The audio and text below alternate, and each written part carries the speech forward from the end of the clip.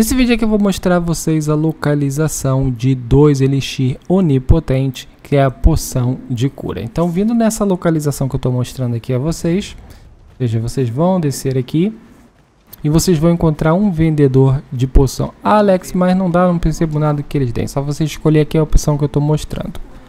É preciso fazer uma quest para chegar aqui, caso por algum motivo você esteja barrado e não consiga chegar vocês utilizam, peçam que eu coloco a quest aqui para vocês.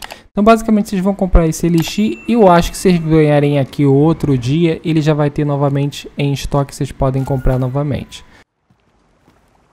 O outro, galera, vocês vão encontrar nessa localização aqui que eu estou mostrando a vocês. Então, basicamente, a gente, quando vocês chegarem aqui, tem ali aquela ponte que vocês podem usar como referência. A gente vai subir por aqui. E vocês vão encontrar aqui na frente um baú. Aqueles escaravelhos são bastante importantes para pegar. Estou fazendo vídeos com a localização deles. Se quiserem, peço que eu coloque o link na descrição para vocês. Eles permitem vocês levar mais peso. Vocês vão encontrar esse baú aqui e aqui vai ter mais um. Tranquilo? Então é isso aí, pessoal. Espero que esse vídeo aqui tenha sido útil para vocês. Tamo junto, até o próximo. Valeu!